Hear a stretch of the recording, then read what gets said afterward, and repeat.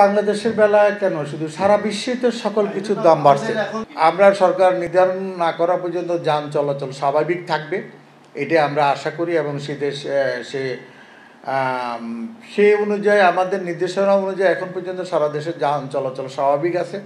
আমরা বলতে চাই গভর্নমেন্ট যেখানে বাস ভাড়া পুনর্নির্ধারণ করার জন্য নির্দেশ দিয়েছে বিআরটিকে অলরেডি মন্ত্রী মহোদয় নির্দেশ দিয়েছেন, এবং বিআরটি আমাদেরকে সভা আহ্বান করে আমাদেরকে আসতে বলছে। তাহলে এখানে তো গাড়ি বন্ধ করার কোনো প্রশ্ন আসে না। কোথাও কোথাও কোথাও কোথাও ডিজেলের অভাবে গাড়ির সংখ্যা কম আছে, বাট স্বাভাবিক চলাচল বিদ্যমান। এটা যৌক্তিক আপনি বাংলাদেশের বেলায় কেন? শুধু সারা বিশ্বে তো সকল কিছুর দাম বাড়ছে।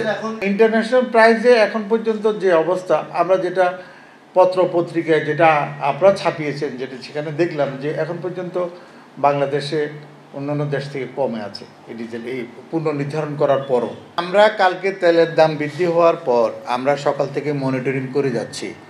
আমরা সারা দেশে কথা বলতেছি, কেউ যেন বাড়তি ভাড়া না নেয়, অপেক্ষা যেন করে সরকার ভাড়া নির্ধারণ করা পর্যন্ত। এর মধ্যে তো কেউ কেউ অনিয়ম যারা করতেছে, তাদের বিরুদ্ধে আইনগত ব্যবস্থা হবে। তাদেরকে ছাড় দেওয়ার কোনো প্রশ্ন আসে না। তবে এই কথাটা সত্য মনে করতে হবে যে সকল সেক্টরই নির্দেশ যে কোনো নির্দেশ দিলে পরে শতভাগ নির্দেশ সবাই পালন করে না। যার ফলে ওইসব জায়গাগুলোতে আইন প্রয়োগ করতে হয়। আমরা যেখানে নির্দেশনা দিয়েছি, সারা দেশে গাড়ির চলাচল, বাস চলাচল স্বাভাবিক থাকবে। তারপরেও চিটং একটা মালিক সমিতি এসে বন্ধ ঘোষণা করছে। তো নির্দেশনা যে শতভাগ সব সেক্টরে পালন হয়, বিষয়টা তা না। তবুও আমরা পরিবহন সেক্টরে আমরা আজকের গাড়ি চলাচল সারা দেশেই, একটা সমিতি ছাড়া বাকি সারা দেশে স্বাভাবিক আছে। বাড়তি ভাড়া কেউ যেন না নেয়, সে ব্যাপারে আমাদের সকাল থেকে আমরা মনিটরিং করে যাচ্ছি। তারপরেও যদি কেউ বাড়তি ভাড়া নেয়, সেসব জায়গায় ব্যবস্থা গ্রহণ করা হবে।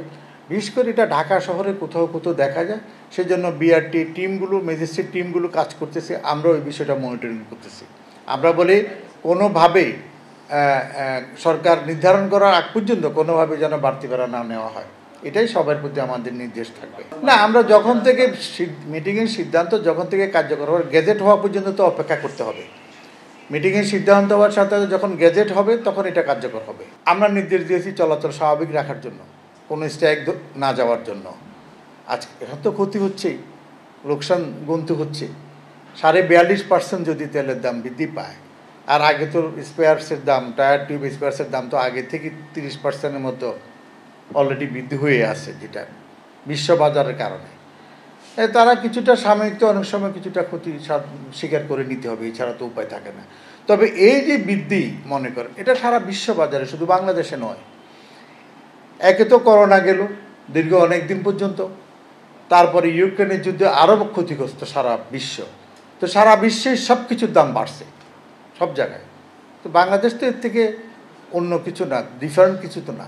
আমাদের মেসেজ থাকল, তেলের দাম বৃদ্ধি হওয়ার সাথে সাথে গভর্নমেন্ট বাস ভাড়া পুনর্নির্ধারণ করার জন্য আজকে সভা আহ্বান করেছি বিকাল পাঁচটায়।